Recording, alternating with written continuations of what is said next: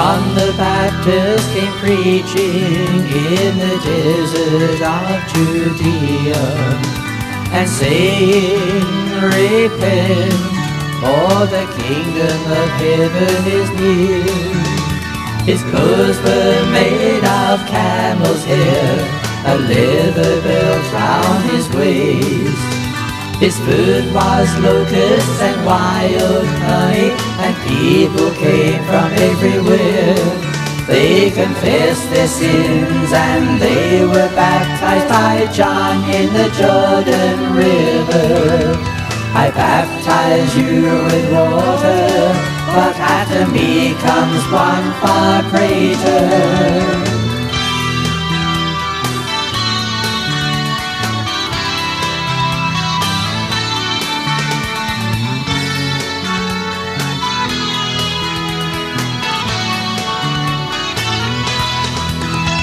Then Jesus came from Galilee to be baptized by John.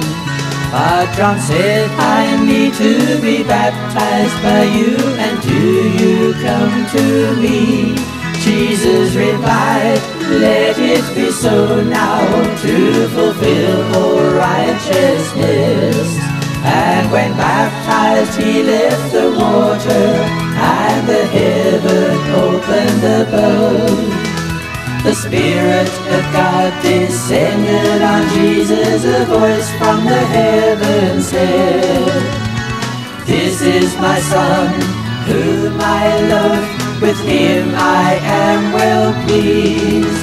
Yes, Jesus came from Galilee to the Jordan to be baptized and the Spirit of God descended on him like a dove when.